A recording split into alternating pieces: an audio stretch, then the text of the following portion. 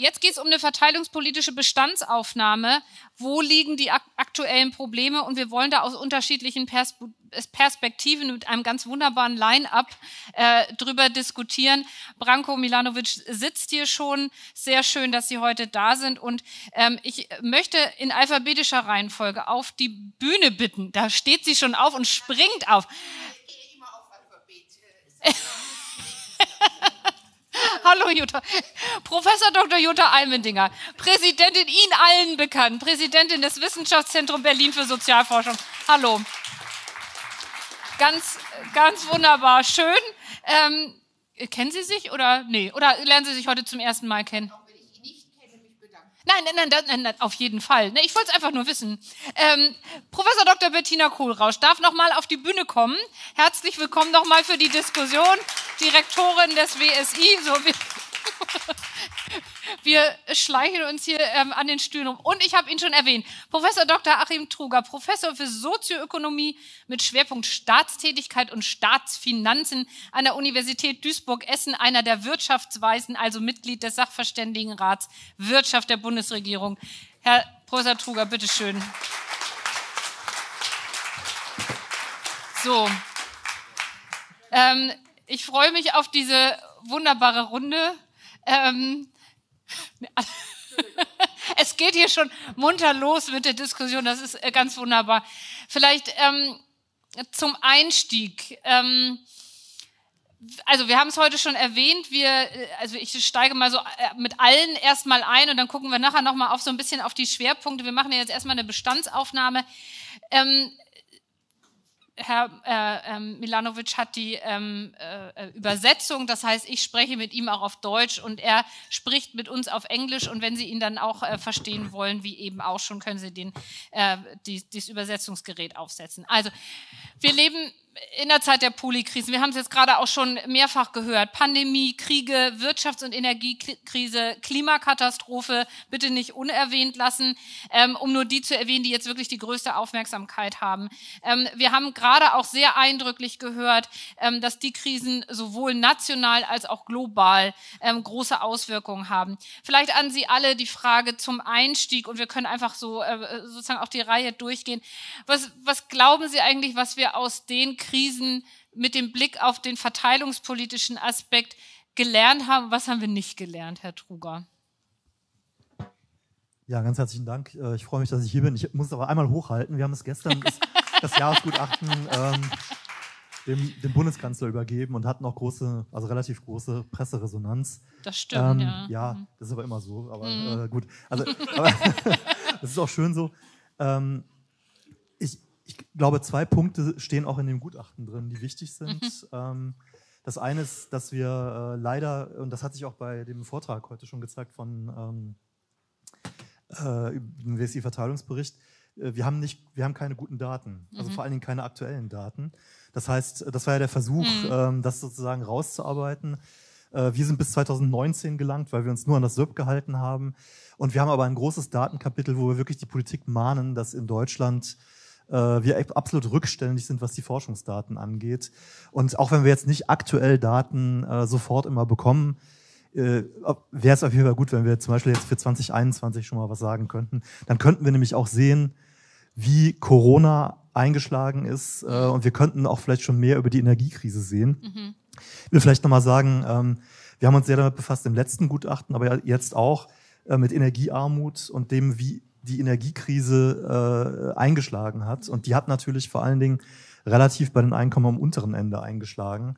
Und ähm, das war absolut wichtig, dass die Politik da reagiert hat. Sie hätte viel besser reagieren können, wenn wir da Daten gehabt hätten und äh, das besser hätten identifizieren können.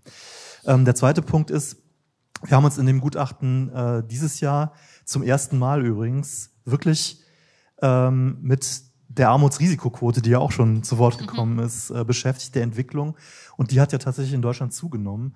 Und äh, wir haben auch zum ersten Mal, muss man jetzt, man spricht jetzt für den Rat heute, spricht vielleicht nicht unbedingt für den Sachverständigenrat von vor fünf Jahren oder so, zum ersten Mal äh, diese Verteilungsprobleme ernst genommen und auch gesagt, was hier auch schon gesagt worden ist, dass ähm, das ernste individuelle Probleme sind, wenn Menschen am unteren Rand mhm. sind, dass das aber auch ernsthafte gesamtgesellschaftliche und gesamtwirtschaftliche mhm. Konsequenzen hat. Und das haben wir uns äh, angeschaut. Äh, das geht auch so weit, dass, wie es sich eigentlich gehört, dass die moderne Literatur rezipiert ist und dass wir auch sagen, äh, dass das bis dahin geht, dass äh, Demokratie am Ende mhm. äh, gefährdet ist, wenn äh, die Ungleichheit äh, so stark auseinandergeht. So und jetzt hoffe ich mal, dass wir uns in Zukunft vielleicht auch noch mit den, ganz, mit den Einkommen ganz oben beschäftigen werden. Aber unter dem Krisengesichtspunkt erstmal ganz wichtig zu schauen, wie haben all die Krisen äh, unten eingeschlagen und wie kann man, was kann man dann tun, um das äh, in den Griff zu bekommen und da mhm. zu helfen und mhm. die Gesellschaften dann nicht auseinanderdriften zu lassen. Ja. Auf einige Punkte gehen wir gleich auch noch im, im Detail ein. Ich mache jetzt mal ähm, mit denen, äh, mit, mit Jutta Almendinger weiter, weil wir schon Bettina äh, Kohlrausch und Branko Milanovic gehört haben. Deswegen überspringe ich jetzt mal und komme dann zu Bettina Kohlrausch zurück. Jutta Almendinger. Es wurde ja eben ganz schön gesagt, dass äh, die ganze Frage von Armut und Ungleichheit sehr multidisziplin, äh, also mhm. sehr multiperspektivisch ist. Mhm. Und was äh, wir eben auch an Daten nicht haben, mhm. ist die ganze Frage jetzt nicht nur von Klima, äh, sondern natürlich auch von Wohnen äh, mhm.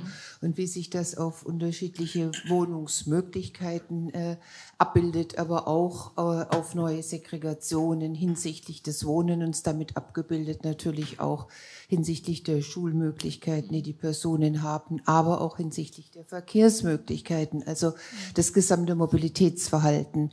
Das äh, müssen wir meines Erachtens in zukünftige Berichte mit reinbringen, also noch multiperspektivischer, als wir das jetzt machen. Ähm, was wir auch zu wenig, glaube ich, äh, es kam da, glaube ich, eine Frage in so eine Richtung ist, dass wir die Bildungsarmut äh, mehr beleuchten müssen, die gerade und die Zahlen haben wir äh, nach Covid doch noch mal ganz deutlich nach oben gegangen sind. Also auch die soziale Übertragung von Eltern auf Kindern, also die soziale oder epigenetische Übertragung kann man ja schon fast sagen. Äh, das ist mir wichtig, weil die Bildungsarmut, wenn wir nachher über den Fachkräftemangel sprechen, natürlich eine ganz ganz große und zentrale Achse ist. Wir müssen äh, meines Erachtens äh, auch äh, dann äh, nochmal mehr äh, über die äh, ganze Frage einer, eines neuen Schnitts äh, in unserer Erwerbsarbeitsgesellschaft sprechen, nämlich jene, dass äh, ich zunehmend Unmut höre, noch in den Daten abgetragen sehe, zwischen denen, die die Möglichkeit haben, zum Teil zu Hause zu arbeiten mhm. und jenen, die eben diese Möglichkeit nicht haben. Das ist ein bisschen mit der Pandemie nach oben gekommen, aber die Ungleichheitsachsen, die werden größer und das Unverständnis der Menschen werden größer. Und dann kommen noch Dinge dazu, die, äh, wenn wir vielleicht nachher in späteren Runden nochmal über Vertrauen und soziale Kohäsion sprechen, dass gerade am WZB zunehmend mehr Studien gemacht werden, die zeigen, dass äh, der Niedergang der Presse, insbesondere der Lokalpresse, unglaubliche Vertrauensverluste äh, hervorrufen äh, und dass unglaubliche Vertrauensverluste interessanterweise auch gerade an jenen Randzonen entstehen, die Dialekte sprechen und äh, die sich mit ihrem Dialekt nicht mehr in der Mitte, also ganz neue Punkte, die äh, die ganze Zeit überhaupt nicht im Spektrum waren, aber die neben einer Einkommensarmut äh, oder neben einer Bildungsarmut nochmal kulturelle äh, Dimensionen aufmachen, die sehr stark beitragen zu äh, einem Demokratieverlust. Und ich glaube, den sehen wir. Ich lasse es mal dabei. Mhm. Ja, danke. Bettina Kohlrausch. Ja, die Frage war ja auch, ist an, ne? Ja, mhm. also was, was, was wir aus den Krisen lernen. Und ich hätte gedacht, dass wir, ähm, also ich bin darauf gekommen, als ich das Abschlusskapitel von dem äh, Buch von Branko Milanovic gelesen habe, dass äh, überhaupt Ungleichheit wieder auf der politischen Agenda steht, ist, glaube ich, was, was wir in den Krisen tatsächlich gelernt haben. Und man ja schon auch sagen kann, dass äh, also mit allen Abstrichen und Kritik, die wir ja auch an, der, an den politischen Maßnahmen immer wieder geübt haben, ja doch ähm, ein ganz klares Verständnis dafür waren. Das war nicht immer so, wenn ich an die Finanzkrise denke, dass es gut ist, wenn der Staat jetzt Geld in die Hand nimmt, um das abzufedern. Das ist ja für bestimmte Gruppen auch vergleichsweise gut gelungen, für andere nicht, also Frauen zum Beispiel. Ähm, äh, könnte man sagen, hat man was gelernt. Erstaunlicherweise führen wir die Debatten ja jetzt trotzdem wieder. Ja? Also wir eigentlich, äh, also offensichtlich hat man es nicht gelernt, obwohl man eigentlich was richtig gemacht hat. Äh, und es hat offensichtlich auch nicht gereicht, weil wir natürlich in Gänze eine Zunahme von Ungleichheit haben und eine Zunahme und auch Verfestigung von Armut. Und ich glaube, die ähm, äh, dass, dass diese Ungleichheit Thematik auf der politischen Agenda äh, gestanden hat. Also es gibt ja auch eine Perspektive auf Gesellschaften, die sagt, äh, Gesellschaften brauchen Ungleichheit, damit überhaupt, also das ist sozusagen Ergebnis eines meritokratisch organisierten äh, Gesellschaft, weil das motiviert die Leute überhaupt erst irgendwie Leistung zu bringen und so weiter. Und ich glaube, da hat sich schon ein bisschen was getan, aber gleichzeitig, also erlebe ich da wieder, dass, dass die Debatte sich auch so ein bisschen dreht oder dass sich zumindest dieses, das nicht um übersetzt in politische Maßnahmen, ähm, weil wir im Gegenteil gerade jetzt wieder große Diskussionen darüber führen, also wie, ob und wenn wie gespart werden muss ähm, im sozialen Kontext. Ähm, äh, das ist das eine und das andere ist, dass ja trotzdem die Maßnahmen, die ergriffen worden sind, nicht gereicht haben, eigentlich um Ungleichheit maßgeblich zu beseitigen und das eben Gesellschaften, auch demokratische Gesellschaften eben auch stark destabilisiert. Mhm. Darf ich noch ganz kurz ja. was dazu sagen? Was äh, interessanterweise jetzt auch auffällt, viele würden wahrscheinlich das Wort interessanterweise streichen ist, dass wir wieder einen Faulheitsdiskurs hier haben. Mhm. Äh, dass äh, der mit einer Zunahme der sozialen Ungleichheit wieder mit aufkommt, äh, dieses, ja, ja wir haben hier ja. diese Sozialschmarotzer, ja, mhm. die leben, wir haben keine empirischen Evidenzen dafür, dass Migrantinnen oder Migranten durch das Bürgergeld beispielsweise äh, weniger Arbeitsbereitschaft äh, haben. Oder Alleinerziehende Dieses, durch die äh, Und Alleinerziehende, dieser, dieser Faulheitsdiskurs, der ist schon äh, bemerkenswert, dass das eine. Und zum anderen haben wir auch gelernt, dass die Mobilisierungsmöglichkeiten von reichen oder sehr reichen Leuten wesentlich größer sind äh, als die Mobilisierung äh, und die Mobilisierung für die äh, geringer Verdienenden. Das war eine schöne Debatte, die ätzend war, aber äh, ich meine, sie war schön, um jetzt mein Argument äh, zu unterlegen, äh, als es um das Elterngeld äh, ging, wo auf einmal Verena Pauster mit ihrem Leutchen, also wir müssen doch äh, bis nach oben oben gehen, äh, 600, 700.000 Stimmen sofort hatte, während äh, als es äh, dann um die ganze Frage geht des Startchancenprogramms, die mehr als notwendig ist im Bildungsbereich, man eigentlich überhaupt nichts an hm. Stimmen sammeln hm. konnte. Hm. Die zwei Dinge, die muss man, glaube ich, auch noch dazu tun. Ich habe sie eben vergessen, deshalb mhm. musste ich mich da noch mal reintrennen. Ja. Sorry. Ja, äh, äh, gerne. Branko ähm, Milanovic, ähm, Bettina Kohlrausch hat gerade gesagt, also dass wir uns überhaupt auch wieder mit dem Thema Ungleichheit beschäftigen, ist ein Lerneffekt. Ähm, wie sehen Sie dass Sie beschäftigen sich jetzt schon auch wirklich seit vielen Jahrzehnten mit dem Thema.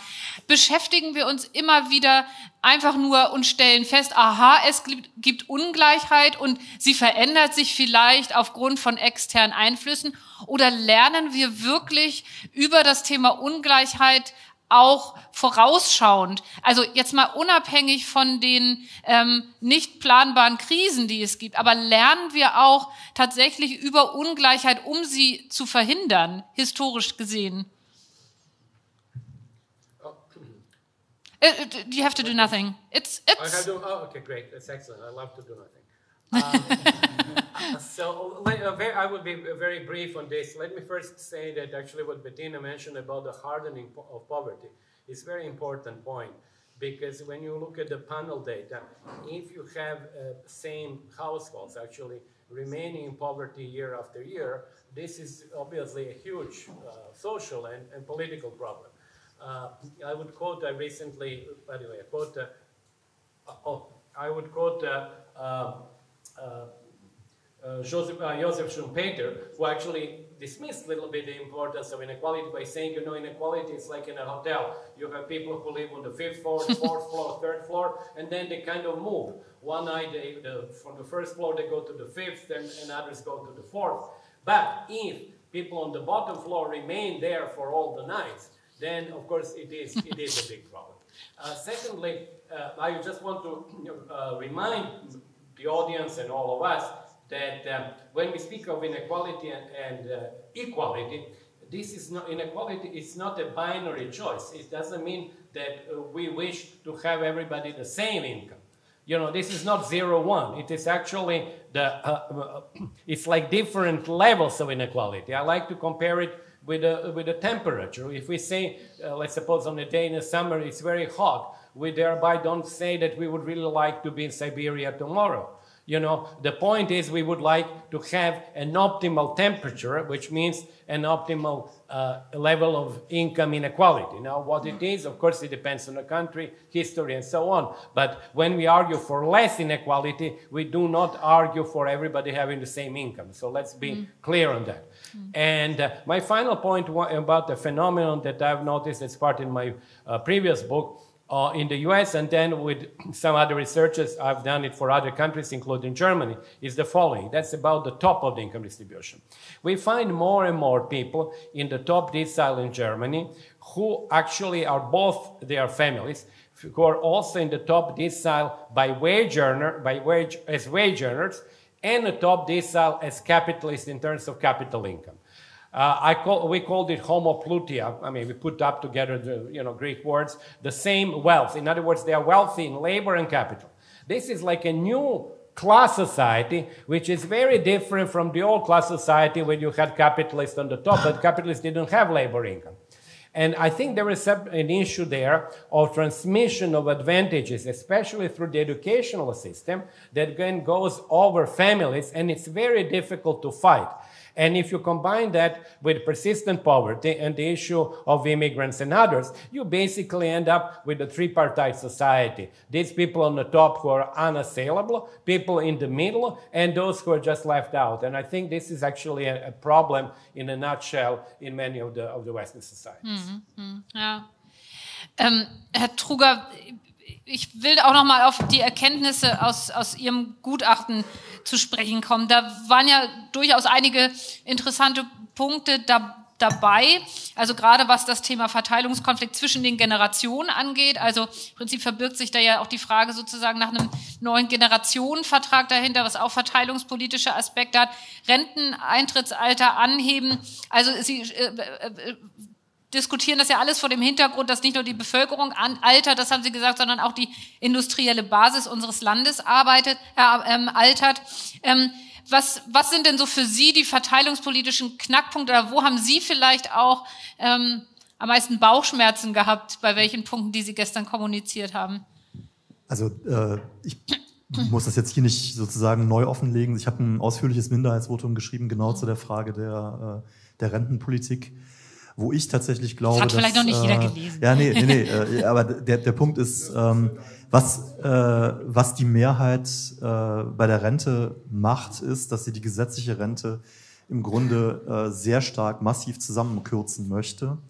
Und zwar, äh, also die, die fast ist die Anhebung des Renteneintrittsalters, die vergleichsweise sanft ist, verglichen mit früheren Gutachten, ist fast noch harmlos. Aber es werden dann am, werden verschiedene Stellschrauben diskutiert und wenn man die alle zusammenpackt, dann sind wir am Ende bei einem durchschnittlichen Sicherungsniveau, das jetzt ja noch bei ungefähr 50 Prozent liegt, perspektivisch eher äh, in die Mitte 40 rückt. Äh, aber dann wären wir bei 35 Prozent. Mhm. und dann wird das irgendwie garniert sozusagen durch, durch Umverteilung innerhalb der Rente, ähm, die übrigens aber nochmal zur Ausgabendämpfung, also nochmal zu einer Rentenkürzung genutzt wird. Und es wäre de facto so, dass Menschen mit durchschnittlichem ähm, Einkommen, also ab 43.000 Euro brutto pro Jahr. Alles, was darüber hinaus verdient wird, würde dann in dem System nur noch halbe Rentenpunkte kriegen. Das heißt, man hätte eine massive Umverteilung äh, in dem System.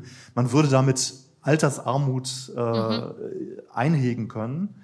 Aber äh, die, die, Idee von Lebensstandardsicherung, ähm, die ja auch wesentlich zur, zur Inklusion und allem dazugehört, die würde eigentlich aus der gesetzlichen Rente komplett verschwinden. Mhm. Und das ist das, was mir natürlich da Bauchschmerzen macht. Und dann muss ich ehrlich sagen, äh, also dass man irgendwie ergänzend Kapitaldeckung macht, ist in Ordnung. Aber ähm, sozusagen dann äh, Versprechen zu machen, dass man dann äh, mit sehr hohen Renditen auf 70 oder 80 Prozent Sicherungsniveau kommt in äh, vielen Jahrzehnten, das ist schon ein bisschen heikel. Ne? Mhm. Äh, und das, das sind so Punkte, die mich, die mich da beschäftigen. Mhm. Ich will euch nochmal sagen, weil wir bei den Diskursen waren auch und äh, Frau Almendinger hat gesagt, es deutet sich so eine gewisse Diskursverschiebung jetzt an, dass wir wieder über, ähm, äh, über Faulheit und sowas sprechen. Ich bin mir eben nicht sicher, wie im Augenblick die Situation ist. Diese Krisen, die sind so eingeschlagen. Also erst äh, Corona, dann dieser Krieg, die Energiekrise.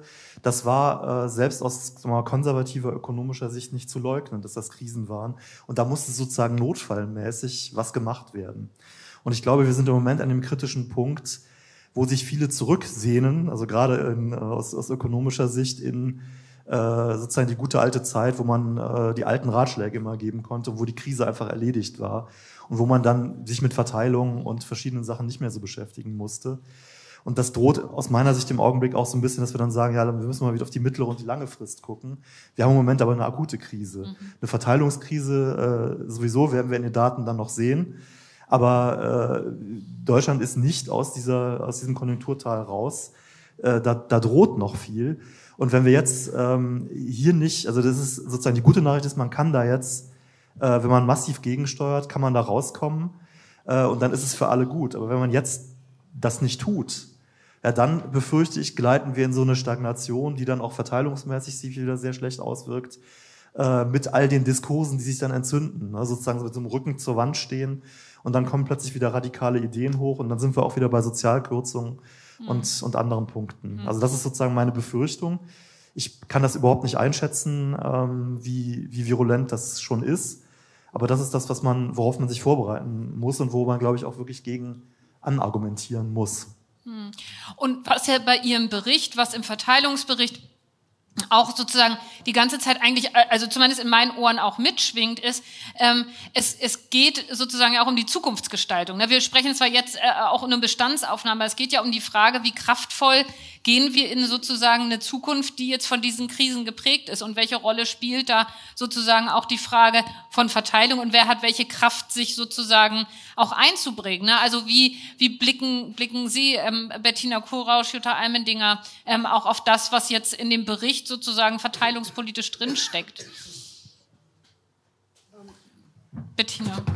In welchem jetzt? In, dem, in, in, in das, was also, Achim Truger jetzt gerade auch gesagt hat. Ja, ja die, die, also ich teile vor allen Dingen ähm, also seine Einschätzung der gegenwärtigen Situation und ich finde auch den, also den Hinweis auf die Ressourcen, die Menschen brauchen oder auch eine Gesellschaft. Da ist eine Dimension natürlich die Verteilung von Einkommen und damit stattet man Menschen natürlich mit individuellen Ressourcen aus. Eine ganz wichtige Ressource ist Bildung, aber es gibt auch sowas wie soziale Infrastrukturen und da geht es ja auch um die Finanzierung. Ja, also zum Beispiel, also wenn, weil eine Ungleichheitsdimension, die wir jetzt noch nicht so benannt hatten, ist die Geschlechterdimension. Mhm. Äh, und das hat sich sicher zugespitzt durch die Corona-Krise. Und zum Beispiel ist natürlich äh, sowas wie Kinderbetreuung eine Infrastruktur, in der ganz viel an sozialer Integration passiert. Also einerseits, äh, es ist ja immer noch Hauptaufgabe der der Mütter, sich Kinder zu betreuen. Also es entlastet die, aber da kommen eben auch Menschen zusammen in einem, in einem Bildungssystem, das, das so gut ist, dass alle gesellschaftlichen Schichten da ihre Kinder hinschicken wollen. Das heißt, da, da findet Zusammenkunft statt. Ja, es gibt soziale Orte, genauso wie, was weiß ich, also wenn es... Ähm, also von öffentlichen Schwimmbädern bis hin zu Jugendclubs, ja. Also das kostet eben Geld und das sind, glaube ich, auch Ressourcen. Also sind erstmal Infrastrukturen, in denen sozialer Zusammenhalt entsteht und das wiederum ist eine Ressource, die Gesellschaften brauchen, um durch die Krisen oder durch die Transformationsprozesse, die noch vor uns stehen, auch gehen zu können. Mhm. Ich kann äh, das nur unterstützen, dass wir eigentlich gerade in diesen Zeiten, wo eine Krise die andere jagt und wo wir ja nicht davon ausgehen können, dass es plötzlich zu Ende ist. Das hast du genauso auch äh, gesagt. Also, hm?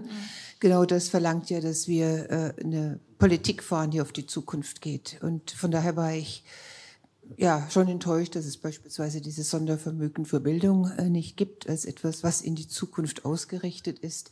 Dass es eben nur diese 4000 Schulen, man kann sagen, es ist äh, super, dass dieses Stadtchancenprogramm 4000 Schulen hat, aber dann auch mit, den, äh, mit der ersten Säule, mit den Investitionsprogrammen für die Schulen, das ist etwas, was mit der Zeit erst wirkt. Es ist gut, dass man das macht, aber man müsste da viel entschlossener angehen, dass wir tatsächlich mit diesem 10. oder mit diesem 15 Jahrzehnt der Bildungsarmut äh, endlich mal Schluss machen, dass wir viel stärker auch in eine entschlossene Weiterbildung gehen, dass wir viel entschlossener die duale Bildung, die universitäre, die Fachhochschulbildung öffnen, auch für die mittleren und älteren Jahrgänge. Das ist das, was wir brauchen, um unsere Leute auf die Green Economy vorzubereiten, auch auf die zunehmende äh, Digitalisierung und die Veränderung der Berufe. Wir haben ja dieses Horrorszenario eigentlich hinter uns, dass wir ganz viele Berufe verlieren. Wir verlieren Berufe, aber neue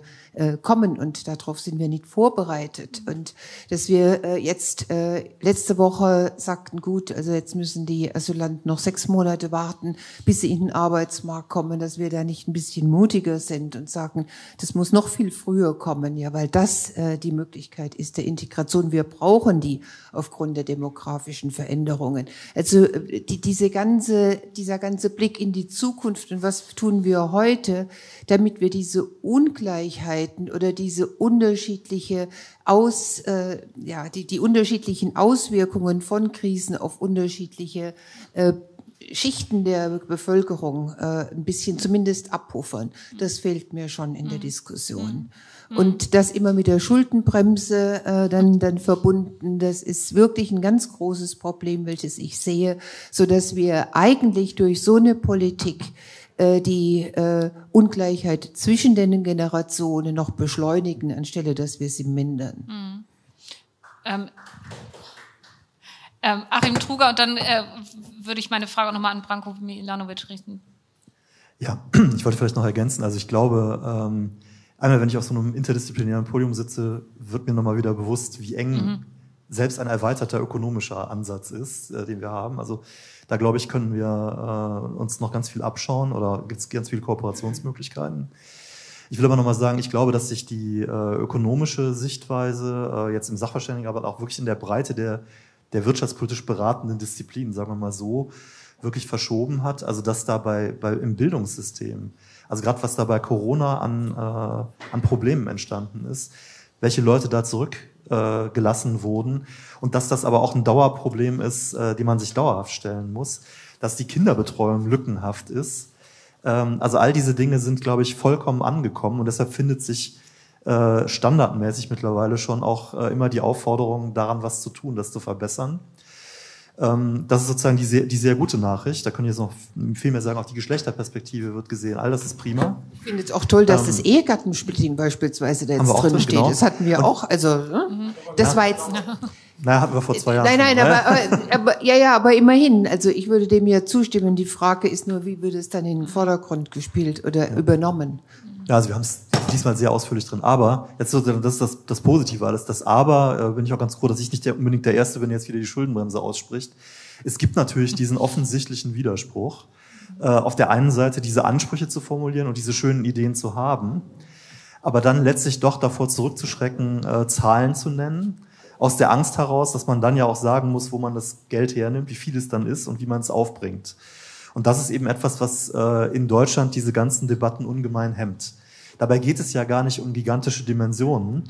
Äh, und man könnte sich, man könnte sich da, ich weiß noch nicht mal, ob man so ein Sondervermögen bräuchte. Wenn der Wille da wäre, könnte man selbst im Rahmen der Schuldenbremse eine Menge mobilisieren und könnte da einen richtigen Anschub geben. Das würde massiv etwas ändern. Aber da ist es dann eben, wo, äh, wo sich niemand traut. Ähm, und da, da kann sich die Politik dann auch äh, sozusagen selbst blockieren. Ähm, Herr Milanovic, wenn Sie jetzt diese Diskussion sozusagen, diese deutsche Diskussion auch zu dem Thema ähm, hören und und Sie haben ja oder wir haben vorhin in äh, der Vorstellung des Verteilungsberichts auch von einer sich verfestigenden Armut in Deutschland äh, gehört und den Auswirkungen wohlgemerkt in einem der weltweit wirtschaftsstärksten Länder, in dem wir äh, leben. Wie interpretieren Sie das im internationalen Vergleich und welches Sie unterscheiden ja verschiedene Konzepte von Ungleichheit, je nach Zeit und Ort. Was würden Sie für eine Überschrift sozusagen auf unsere Diskussion hier setzen? Uh, obviously, my, my comments are much more general because I don't know the specifics of, the, of the German case. Klar. But let me uh, put it like uh, things in a sort of, uh, how should I say, two kind of seemingly seeming contradictions. Uh, Germany is among the richest countries in the world. And uh, Germany is often considered as an exemplar of social policies. And even if you look at the static uh, picture of inequality in Germany compared to the rest of the world, it is fairly good. It's not phenomenal, but it's fairly good. However, uh, I had impression before coming to Germany, simply from reading, and I have German friends, and I've been here several days. And uh, I have to say that I've noticed, uh, I wrote to my friend yesterday about that, what I might call the German malaise. Mm-hmm. And I think it's, it's very clear, it seems to me, in different circles as well. And that seems to me to be the result of Germany being at the intersection of several uh, dramatic developments. Uh, the first one was COVID, where, of course, was handled, mishandled first badly. On the other hand, it has to be said Germany produced with Moderna, I forgot the name of the vaccine, but the only one that was uh, biotech, yeah. Biotech. The, the, the modern vaccine, uh, which actually is a technological uh, achievement. But then, nevertheless, there was a COVID as an issue, and we mentioned also now the dividing line between people who can work uh, uh, out of home and people who have to show up, like service sector people who have to have to do five jobs and so on. So that was COVID. But then there was the energy crisis, which was the result of the Russian war, which was unexpected and had significant impact on Germany because of the uh, obviously uh, reliance on Russian oil, which in many sense and gas made lo- uh, lots of sense because Germany is an industrial power, Russia is an exporter of natural uh, you know, oil and gas. I mean, what's better?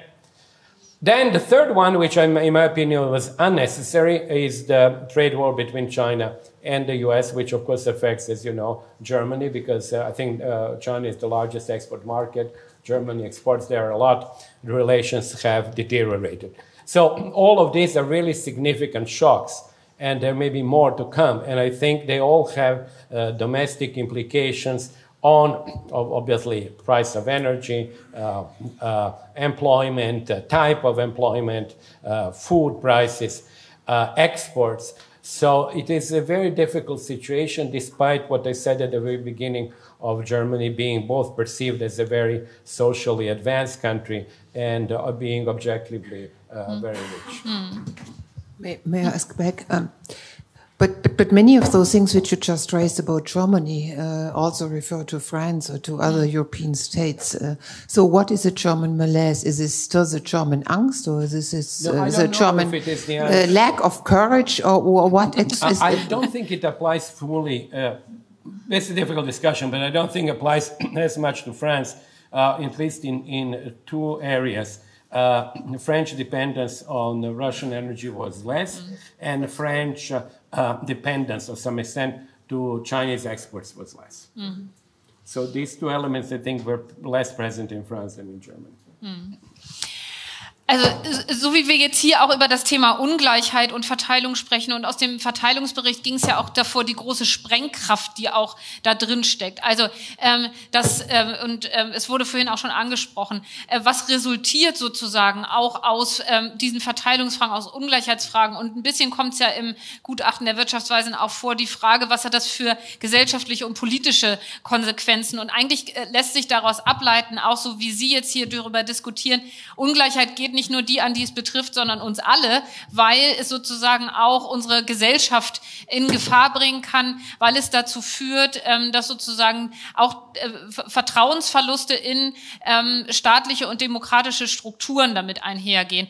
Ähm, äh, ist, ist das nicht ein Punkt sozusagen, wo noch viel mehr Möglichkeit oder Erklärungspotenzial liegt, diese Zusammenhänge herzustellen, um auch mehr Aufmerksamkeit für das Thema Ungleichheit und Verteilungsfragen zu generieren, sozusagen, weil es eben nicht nur die betrifft, die es betrifft. Ähm, Bettina Kohlrausch.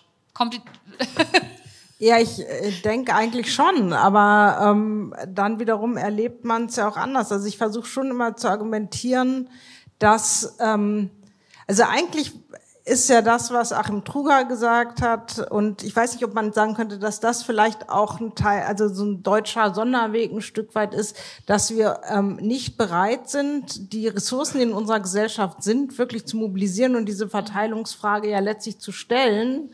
Also äh, ist das Geld, also man, man könnte ja ne, wenn man wenn man wollte. Und die interessante Frage ist ja wirklich, warum, eigentlich nicht? Ähm, weil eben genau darum geht es. Also es geht darum, eine Gesellschaft nachhaltig zu stabilisieren und jetzt Menschen mit individuellen, aber auch, ich sag mal, kollektiven Ressourcen auszustatten, damit sie die Wandlungsprozesse, die ja erst noch kommen, also Bildung zum Beispiel, wenn man sich überlegt, was die sozial-ökologische Transformation an Herausforderungen für Menschen mit sich bringt äh, und die oder die Digitalisierung an Herausforderungen, einen Job zu wechseln, sich weiter zu qualifizieren, zu erleben, dass man etwas gelernt hat, was an Wert verliert. Das ist, äh, wir haben über Anerkennung gesprochen, das sind äh, Verluste sozialer Anerkennung. All das werden diese Menschen in Zukunft erleben müssen. Und ich verstehe nicht, und es ist für mich auch also ein ganz zentrales Argument zu sagen, wenn wir die Menschen Menschen jetzt nicht mit Ressourcen ausstatten, um da durchzugehen, werden wir am Ende alle verlieren und dann wählen die auch nicht mehr Christian Lindner, um das mal in dieser Deutlichkeit zu sagen. Ja, das heißt, also er, also diese Politik schadet sich auch wirklich selber und destabilisiert letztlich das ganze demokratische System. Ähm, man kann es immer nur wieder in dieser Deutlichkeit sagen und, und hoffen, dass es irgendwann verfängt. Dass es wirklich, also die Nachhaltigkeit wirklich sehr, sehr existenziell ist, um die es da geht, wenn wir jetzt die Ressourcen mobilisieren. Naja, wir müssen ja dazu sehen, äh, dass auch äh, viele Gelder abgezogen worden sind. Also wenn man mit der Bundeszentrale für politische Bildung beispielsweise mhm. spricht und äh, sieht, was da weggenommen wurde, wenn man mit kleinen Verbänden spricht, die die lokalen tatsächlich Träger des Zusammenhalts von Nachbarschaften und so weiter und so fort darstellten da bricht natürlich auch auf dieser Seite etwas weg. Das heißt, wir haben nicht nur eine steigende Verteilungsungleichheit, sondern wir haben auch eine steigende Ungleichheit in der Aufmerksamkeit, mhm. die unterschiedlichen Schichten zugutekommt. Äh, und diese zwei Dinge zusammengenommen, glaube ich, führen dann dazu, dass wir wirklich, äh, auch wenn äh, Steffen Mau und andere das eher als Triggerpunkte darstellen, tatsächlich zu Polarisierungen beitragen werden. Mhm. Achim Truger. Also, ähm, ich, ich, weiß jetzt gar nicht, ob, also äh, erstmal, ähm, vielleicht ist der Verteilungsbericht auch noch gar nicht richtig äh, gewürdigt worden, den, den Dorothee Spannagel vorgestellt hat. Das ist ja ein Beitrag dazu, ähm, genau die, äh, äh, die, die Risiken äh, und die wirklich gesellschaftliche Relevanz zu verdeutlichen. Das ist ein wichtiger Debattenbeitrag und davon gibt es ja äh, eine ganze Menge. Und ich glaube, dass also jetzt haben wir, ich, man, man muss ja mahnen und warnen ne, und muss gucken, was, was schiefgehen kann. Aber äh, wenn man jetzt vergleicht die Situation von vor fünf Jahren oder von vor zehn Jahren, dann ist das Bewusstsein äh, für Verteilungsfragen äh, viel größer. Die Datenlage ist zwar schlecht, aber sie ist viel besser. Äh, all diese Dinge, ähm, äh, diese gesellschaftliche Relevanz, das diffundiert. Also das heißt, da, da passiert eine ganze Menge. Und ich glaube, dass man jetzt einfach das, äh, das mitnehmen muss und sich jetzt nicht schon vorab äh, sozusagen klein macht und sagt, äh, was kann schiefgehen in der Debatte. Äh, das sind starke, nee, nee, ich meine nur, das äh, war jetzt, oder vielleicht rede ich da mit mir selbst, kann ich mir, mir selbst, äh, mir selbst sagen. Äh, falls, falls sich irgendjemand angesprochen fühlt, ist es auch gut. Ähm, also das, das glaube ich, dass man kann das, kann das kraftvoll und mit, mit Selbstbewusstsein vertreten. Und äh, es gibt ganz viele Möglichkeiten, äh, ganz viele Optionen werden von vielen aufgezeigt. Und man kann da ganz viel machen und man muss halt einfach jetzt ähm, gegen diese sich abzeichnende Kürzungspolitik auch in den öffentlichen Haushalten. Da muss man wirklich massiv dagegenhalten. Ähm, das Problem ist eben, dass das jetzt so schleichend passiert. Ne? Da waren noch ein paar Reserven. Jetzt geht es beim Haushalt 24, äh, wird ein bisschen gestrichen, aber es sieht noch nicht so dramatisch aus. Äh, und die Perspektive wird, äh, wird immer schlimmer. Mhm. Und da muss man jetzt eben dagegenhalten. Das ist einfach, es ist vollkommen ökonomisch nicht nötig. Und man sollte jetzt genau das Gegenteil tun. Das, das ist halt die klare Botschaft dabei. Also das finde ich. Ja bin ja auch gar keine Pessimistin, also überhaupt nicht. Aber das bewundere ich jetzt sehr schon, dass er das dann doch so positiv konnotiert, dass sich da einiges getan hat. Man könnte natürlich auch umgekehrt sagen, dass viele Themen schon seit 20, 30 Jahren auf dem Tisch liegen und immer noch nichts sich getan hat und dass man eigentlich viel mehr Unmut äußern müsste und sich fragen müsste, wie bekommt man diesen äh, ganz anders solidarisiert und äh, natürlich auch in, in, im Sinne von so einem Änderungsmovement dahin. Und das sehe ich überhaupt überhaupt nicht im Moment. Hm. Stichwort Solidarität, Branko Milanovic. Ähm, nochmal vor dem Hintergrund auch Ihrer ähm, jahrzehntelangen Expertise, was globale Verteilungsfragen angeht. Und äh, ja, auch wir immer wieder sehen, äh, wie wie, oder wie entscheidend die Interdependenzen äh, sozusagen sind, die Sie ja auch heute ähm, aufgezeigt haben. Äh, wo gibt es denn sozusagen auch die Frage von Solidarisierung oder wo ähm, äh, wo vermissen Sie die Frage von Solidarisierung, um sozusagen zu einem äh, gemeinsamen größeren äh, Wohlstand sozusagen zu kommen, der nicht ähm, ein Nullsummenspiel letzten Endes wird? Uh, well, let, let, me just uh, refer to what was said before. Mm -hmm. I too, in principle, I'm not a macroeconomist, but I too, in principle, are against. I'm against policies of austerity uh, to some extent, uh, especially when they are not absolutely indispensable. But, and I don't think they're indispensable in this case, because what they do actually, they generally increase inequality and they lead to polarization and they lead to then other political uh, sort of outgrowth from that. So I, am generally not, this is not my area, but I simply notice that they have negative impact on, on income inequality and then on solidarity that you mentioned. But then when it comes to solidarity, international solidarity, then the situation becomes very, very difficult. Mm-hmm. First of all, uh, uh, we have all this discussion in Germany, which is a rich country, and there, there are significant problems that people left behind and so on. And then you say, okay, so what can Germany on top of that do for the rest of the world? Now, we have seen Germany accepting immigrants from Syria, now Ukraine. Uh, and then I bring up Africa. And it is true that Africa is very close to Europe. It's a, it's a huge potential issue. But it's not very clear what can be done, nor is it very clear how far the solidarity can go. Mm. And I, am really a little bit at a loss here. I do believe that uh, the European Union should have really sort of an Africa policy. I know they have you know, meetings and things like that. But I, I think that actually it is a very pressing issue. When I say Africa, I mean the Middle East and Africa together. And uh, uh, Europe has to take, I think, a lead on that and not uh, simply uh, sort of go from time to time and lecture people. I, I think it's a really mm-hmm. a question of the 21st century. We are not mm-hmm. going to solve it this year or, or next, but I think it's like a, a secular issue of mm. Europe and Africa. Mm.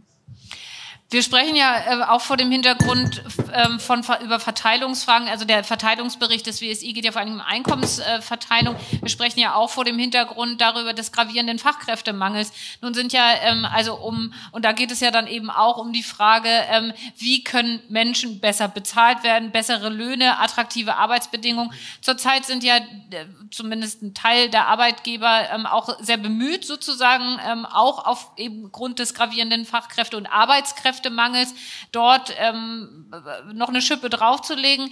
Wird das eine Auswirkung überhaupt auf Verteilungsfragen perspektivisch haben? Kurzfristig vielleicht nicht, mittelfristig wird es eine Auswirkung haben? Ich gucke mal in die Runde.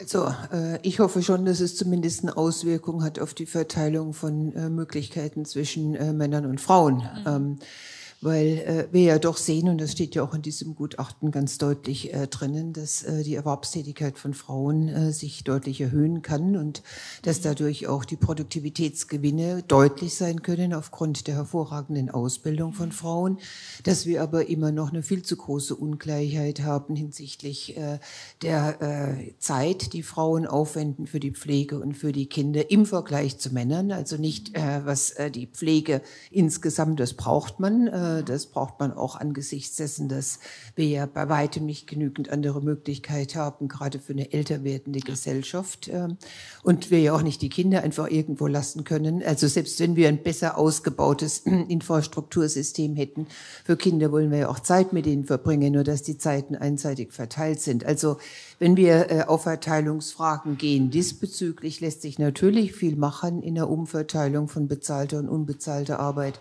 zwischen Männern und Frauen oder mit einem vollkommenen Shift äh, in der Betrachtung, für welchen ich einstehen würde, nämlich von einer Erwerbstätigkeitsgesellschaft zu einer Tätigkeitsgesellschaft, wo wir tatsächlich alle Tätigkeiten als Produktivität, als produktive Tätigkeiten ansehen. Und das würde eine ganze Menge an Unterschied machen. Das äh, würde auch Ungleichheiten wahrscheinlich zwischen äh, Einkommensschichten wegnehmen, äh, weil wir ja äh, im Moment auch, was das Geburtenverhalten, und das war ja auch eine der Fragen, die im Vorfeld da gegeben haben, das entwickelt sich ja auch weiter mhm. ungleich. Und wir mhm. sehen ja eher eine Abnahme und diese Abnahme ist sozusagen dann wieder äh, populationsspezifisch. Äh, und mhm. äh, dieses alles zusammenbringen, glaube ich, haben wir da schon ganz viele Möglichkeiten, wenn wir endlich mit ein paar strukturellen Rahmenbedingungen, die natürlich dann auch kulturelle Zuweisungen von Mütterrollen und Väterrollen verändern werden, endlich ernst machen. Und da ist die Zeit überreif. Ich meine, wir sind da ja ein Relikt, auch wenn man jetzt äh, äh, auf andere europäische Länder schaut, sind wir ja sowas von hinterher. Das ist ja, ja unglaublich. Ja. Äh, äh, kommt sowas an? Also ich meine, Sie, Sie mit Ihrem mit Ihrem Bericht, ähm, den haben Sie ja nun der Bundesregierung übergeben. Ähm, haben Sie das Gefühl, genau solche Botschaften kommen auch verfangen? Grundsätzlich ja. Ähm, sagen wir Sie so dürfen ehrlich bei, sein bei, heute. Ja, ich bin ehrlich.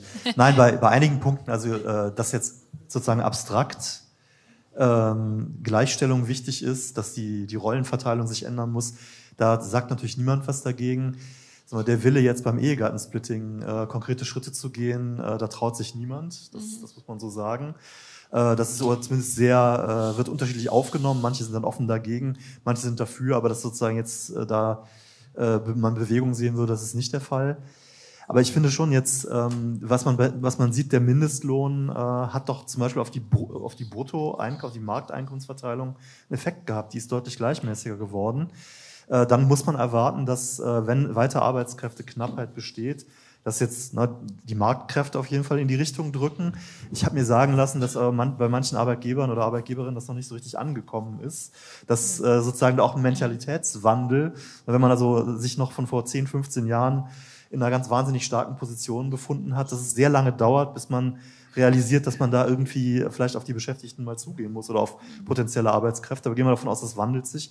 Und ich glaube, ein Punkt, ähm, den man nicht äh, auf keinen Fall unterschätzen darf, äh, der aber häufig unterschätzt wird, gerade von Ökonomen und Ökonomen, ist die Tarifbindung.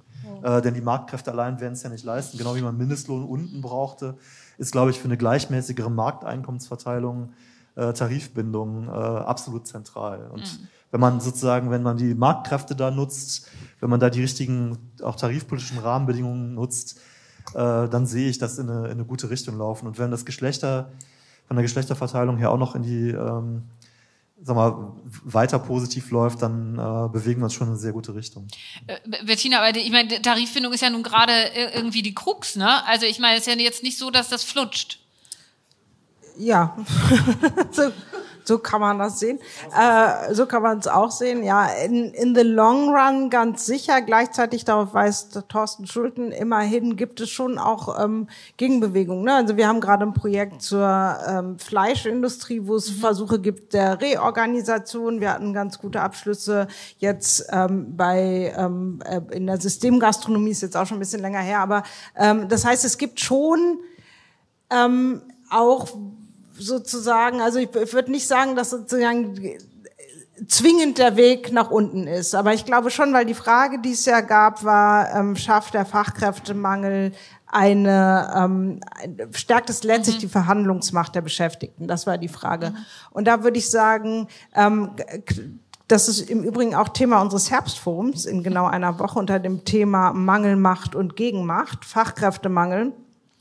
Und ähm, ohne jetzt äh, der, den Debatten weg, vorwegnehmen zu wollen, ist es, glaube ich, eine Frage von Strukturen. Also Tarifbindung ist eine, ähm, aber auch die Frage zum Beispiel Voraussetzungen dafür, dass Frauen am Arbeitsmarkt teilhaben können, Kinderbetreuung und so weiter und so weiter. Das sind Strukturen, die es schon braucht, so dass ich nicht glaube, dass das automatisch äh, passiert, aber dass es schon sozusagen Möglichkeitsräume öffnet und diese wirklich ähm, äh, dann doch auch von, von bestimmten Seiten aggressive Debatte gegen die Erhöhung des Mindestlohns erfolgreich, gegen die Erhöhung des Bürgergeldes nicht so erfolgreich, hat für mich was damit zu tun, dass es darum geht, weil das ist natürlich, wenn man niedrigen Mindestlohn hat, einen hohen Niedriglohnsektor, wenn man ähm, geringe soziale Mindestsicherung hat, dann bringt es natürlich Druck auf die unteren Lohngruppen, ganz klar. Ja, und ähm, ich erlebe diese doch aggressive Debatte um diese beiden Themen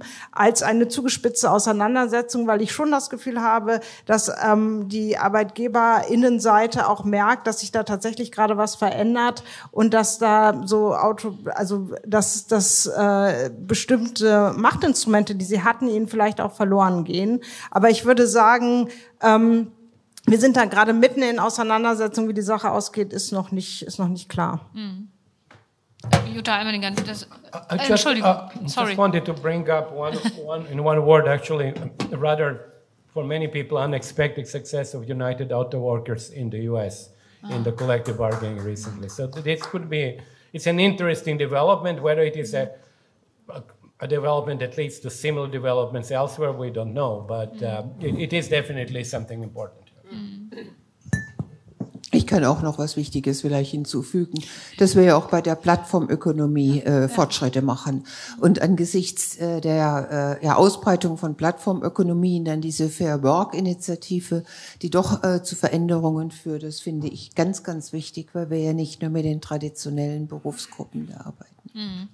Ich habe jetzt äh, ein paar Mal ist dieses, dieser Begriff, Sie haben es auch jetzt gerade gesagt, sich trauen. Also man traut sich nicht an bestimmte ähm, Themen vielleicht auch heranzugehen. Ähm, nun haben wir auch im Verteilungsbericht den Zusammenhang von Armut, mangelndem Vertrauen, haben wir jetzt auch gerade schon in politische Institutionen gesprochen und die Gefahr für die Demokratie, weil auch, ähm, das geht aus verschiedenen anderen Studien auch hervor, sozusagen die Frage von Armut und und oder mangelnder Bildung auch mit der Frage zu, gehe ich zur, gehe ich zur Wahl oder nicht? Also das hat eben eben diese Konsequenzen. Und ich meine, das, äh, da würde mich jetzt noch mal interessieren, glauben Sie, ähm, dass äh, da sozusagen dieses Bewusst, also dass der Zusammenhang politisch schon hergestellt wird zwischen sozusagen Verteilungsfragen und der Frage von ähm, Wahlen und, und Gefahr der, an die Demokratie, also ähm, dass die Demokratie in Gefahr ist, weil zu wenig oder antidemokratisch gewählt wird. Also dass da dieser, dieser auch ja durchaus unmittelbare Zusammenhang, dass der schon stark genug diskutiert und erkannt wird. Also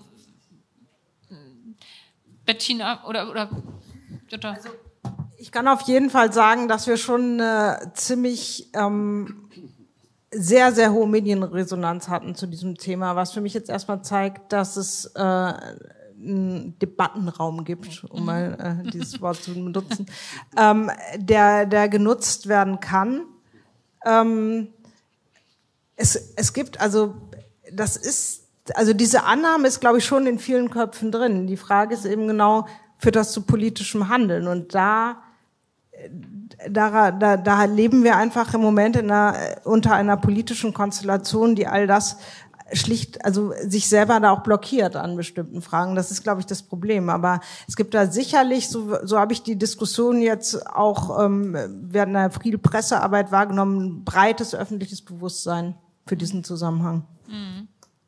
Ich würde sagen, dass der Zusammenhang so klar ja nicht ist. Wenn man sich jetzt die AfD-Wählerschaft anschaut, mhm. sieht man ja kaum hohe Korrelationen zwischen Bildung oder zwischen Einkommen äh, und AfD, sondern das schneidet sich ja durch andere Dinge. Deshalb hatte ich vorhin äh, kulturelle mhm. Fragen äh, angesprochen. Lokalpressen machen mhm. ganz viel die Basisarbeit innerhalb des, des, des Kleinen, wo man lebt äh, mhm. und nicht jetzt des nationalen, geschweige denn des europäischen. Äh, äh, und äh, es ist äh, die Frage, wer wo wohnt, wie viele andere Leute dort wohnen. Also diese ganze Abwanderung in Ostdeutschland in einzelnen Bezirken hat sehr viel mehr zur AfD-Wahl beigetragen als jetzt das Einkommen oder die Bildung. Insofern müssen wir da, glaube ich, tatsächlich noch viel bessere Daten und auch Datenzusammenführungen haben, um viel besser zu verstehen, was da eigentlich passiert. Und wir haben lange zu genug glaube ich, das monokausal äh, bezogen auf Einkommen und Bildung und haben äh, mhm. damit ähm, glaube ich, anderen leicht gemacht und nicht schwer gemacht. Also insofern sehe ich da ganz viel noch Forschungsbedarf. Und ich habe vorhin dieses ganz merkwürdige, also das war ja ein Zufall, dass wir mal auf Dialekte eingegangen sind und uns gefragt haben, wie ist AfD-Wählerschaft mit den Dialekten und der Stärke des Dialekts verbunden. Und dieser Einfluss ist viel größer als der Einfluss von Bildung. Ja, also das ist einfach dieses Gefühl, nicht mehr zum Mainstreaming dazu zu gehören. Und äh, dieses Abgehängtsein ist sozusagen eigentlich ein ganz schönes Wort, muss aber viel multidimensionaler gefasst werden, als wir es im Moment tun. Äh, die Wahlbereitschaft hängt ja damit zusammen, aber ähm, die Wahlbereitschaft, die geht ja weniger, oder die, die tatsächliche Wahlbeteiligung, die geht ja weniger runter als sozusagen die mhm. Wahlbeteiligung für andere nicht demokratische, wie ich es jetzt ausdrücken würde, Parteien. Also wenn ich nochmal, also tatsächlich stimmt es, dass ähm, Einkommen nicht alleine oder dass es Dinge gibt, die es nochmal stärker ähm, erklären, vor allen Dingen dann, wenn man Einkommen, wenn man Einstellungen mit reinnimmt und Einkommen, aber es liegt auch daran, dass Einkommen und Einstellungen einfach sehr stark korrelieren, also es ist auch so ein bisschen methodisches Problem. Ich glaube aber trotzdem, dass Ungleichheit diesen Effekt tatsächlich hat. Dieser und aber Ungleichheit hat halt viele Dimensionen. Es geht um die Verteilung von Ressourcen und wir haben uns zum Beispiel, wir untersuchen das ja sehr intensiv in unserem Lebenslagenprojekt und gucken uns da ähm, Dimensionen sozialer Integration an. Mhm. Und ähm, da, dazu gehört die materielle Integration, dazu gehört das, was ich schon genannt habe, soziale Anerkennung Mhm. Äh, kann auch sein kann irgendwie keiner keiner redet mehr bayerisch mit mir oder so ja das kann auch ein Verlust sozialer Anerkennung sein ähm, oder ähm, und aber und das ist, glaube ich, was, worüber wir wirklich mehr reden müssen: demokratische Teilhabe. Mhm. Also die Demo, deshalb habe ich das eben auch gesagt: Die Verteilung von demokratischer Teilhabe, das ist auch eine Verteilungsdimension. Mhm. Ja, weil tatsächlich natürlich Menschen mit weniger Bildung und weniger Einkommen schon auch andere, auch demokratische Teilhabemöglichkeiten haben. Aber deshalb ähm, fokussieren wir uns auf den Arbeitskontext, weil das ein Ort ist, wo demokratische Teilhabe stattfindet. Ähm, und das alles erklärt, ähm, also diese Dimension sozialer Integration und Desintegration erklärt, ähm, warum Menschen sich abwenden von der Demokratie. Und das eben, und ich finde, das sind auch Dimensionen von Ungleichheit. Ich will da noch eines ja. dazu fügen, was dein Argument stützt. Äh, also was wir natürlich sehen, wo, wo die Zusammenhänge groß sind, sind intergenerationale und intragenerationale Verluste. Ja. Also wenn ich absteige im Vergleich zu meinen Eltern, das ist etwas, was in Deutschland im Vergleich zu anderen Ländern gar nicht geht irgendwie. Und wenn es stattfindet, dann wird das anders wahrgenommen, als wir es in anderen äh, Kulturen wahrnehmen. Und wenn wir, und darauf hat, hast du ja dankenswerterweise ganz am Anfang hingewiesen, wenn wir ein Rentensystem staffen, was äh, nicht mehr den Lebensstandard hält, äh, mhm. aber Altersarmut in einer gewissen Weise vermeidet, dann ist das äh, ein zweischneidiges Ding in Deutschland, ja, weil wir alle sozusagen auf die Kontinuität dessen aus sind, was wir haben und mhm. nicht unbedingt auf Gleichheit, mhm. was dann nochmal die Achse aufbringt, was ist eigentlich Ungleichheit äh, und was ist sozusagen eine persönlich erlebte Ungleichheit und das sind zwei vollständig unterschiedliche Konstrukte. Branko, Yes, can I bring this in? Well, you, you brought up France, yes, uh, just a couple of minutes ago. Um, well, you responded so well. I, yeah, I, I uh, still uh, don't know what's the German Malaise is. Uh, well, there, but there is one. We don't know what it is, but it is one. Uh, but uh, let me. this is a huge topic, and I don't have a particular expertise, so we can discuss it. But let me bring up. Actually, I was at a discussant of Piketty and Julia Cagé new book it's called uh, uh, political, Le conflit politique en France. And it actually co uh, covers 200 years of French electoral history. It's an enormous book. It's like, uh, you know, 800 pages and it's printed in color. So you really need somebody to practically two people to carry it because the paper is very thick. Uh, and nevertheless, it's an incredible uh, source of data because it, he, they study at a communal level characteristics of communes uh, over 200 years education, age, gender. Uh, these are not surveys, so they actually simply have information about income, education, gender at a communal level 3,600 communes. Now, the interesting part, and I'm not sure uh, whether the theory can be sort of repli- I mean, the study could be possibly replicated in some parts elsewhere, including Germany, but their point is the following. Their point is very simplified. Uh, after World War II until 1980s, you have the division into two groups, essentially social democratic and communist on the one side, and a conservative. They, were, they put Gaullists and in the past Vignancourt and everybody else on the other side. And he, they believe that actually that, that uh, bipolarism or what they called uh, uh, bipartitioning was actually good for social democratic side because they were more numerous and they were able to follow policies that they liked. Now, they say after that 1980, there was an interesting split in France which may be replicated in Germany. Their argument is that the groups that were then on the left got divided between the rural groups, which is La France Profonde, uh, which votes now again not on the left, and the working class, which gradually has become really service sector oriented in the urban areas. So they've been deindustrialized and replaced by service sector uh, uh, workers. On the other hand, the bourgeoisie has remained unified. So they believe that in a three, what they call uh, three partitioning, in a three partitioning, it becomes very difficult for the left to win because the bourgeoisie, urban bourgeoisie, allies themselves with one of the two. In the in French case, probably La France Profonde. In any case, I think it's an interesting view of uh, sort of uh, looking at the sociological background of these political changes. So I, am sure the book will be translated in German, but of course methodology could be uh, quite applied, I think, uh, in, in, the German case. Yeah. We have some Mm. Mm. Herr Truger, an Sie die letzte Frage. Sie haben äh, dieses sich trauen ähm, äh, eben erwähnt.